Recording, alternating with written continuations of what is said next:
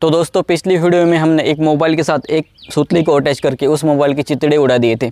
तो, तो उसी तरह आपके लिए लेकर आया मैं एक प्लास्टिक गेंद और उसके ऊपर अटैच किया एक सुतली को। और ये प्लास्टिक गेंद भी काफ़ी कमाल की और ये काफ़ी मज़बूत है। तो लगाते हैं इस सुतली में आग और फिर देखते हैं क्या ये सुतली हमारे इस प्लास्टिक गेंद के चितड़े उड़ा पाता है या फिर नहीं। तो चलिए शुरू करते हैं।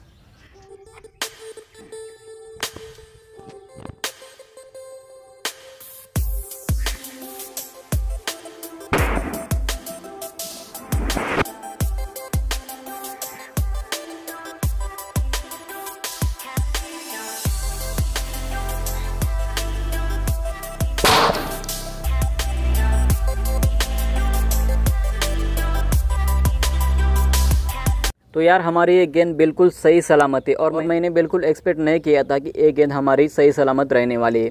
और मुझे इस चीज़ का ज़रा सा भी आइडिया नहीं था। तो वीडियो में आपको अगर ज़रा सा भी मज़ा आया तो वीडियो को कर दीजिए लाइक तो चलिए मिलता हूँ आपको मैं नेक्स्ट वीडियो में।